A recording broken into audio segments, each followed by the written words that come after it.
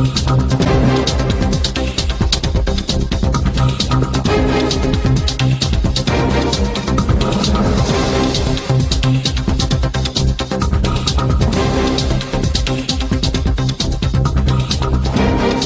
செய்தி நீலகிரி மாவட்டம் பந்தலூர் அருகே டாஸ்மாகில் தொடர் திருட்டில் ஈடுபட்டவரை காவல்துறையினர் சுட்டுப்பிடித்துள்ளனர்.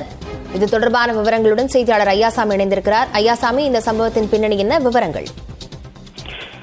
லாவண்யா நீலகிரி மாவட்டம் பந்தலூரில் தொடர்ந்து இந்த டாஸ்மாக் கடைகளில் மதுபான காட்டல்கள் பாட்டில்களை திருடி வந்த நபரை போலீசார் இன்று சுட்டு பிடித்துள்ளனர் காரணம் கடந்த சில நாட்களாகவே தமிழகம் மட்டுமல்லாமல் கேரளா பகுதிகளிலும் இந்த டாஸ்மாக் கடைகளில் மது பாட்டில்களை திருடி வந்த சாம்பார் மணி என்பவர் இந்த சம்பவத்தில் ஈடுபட்டுள்ளார்.